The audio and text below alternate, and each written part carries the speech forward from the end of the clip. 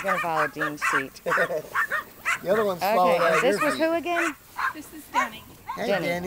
Danny. Denny. We got Zal, Denny, Sebastian, and Cass. Sol, Denny, Sebastian, and Cass. And this is Denny, six weeks old today, October 19th, 2010. Oh, sure. Getting his first puppy vaccine. He will be ready after his second shot in his neuter. And he's looking for a good home. Of course, he's got a good home. Oh, I got a goes really my com- right there. phone again.